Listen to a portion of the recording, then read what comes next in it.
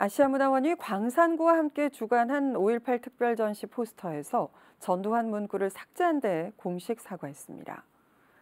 아시아문화원은 윤상원 열사의 일대기를 그린 역사의 필회침, 하성읍 수묵으로 그린 열사의 일대기 전시를 홍보하면서 원본 작품에 있던 전두환 타도 문구를 삭제한 채 포스터를 제작해 무리를 빚었습니다.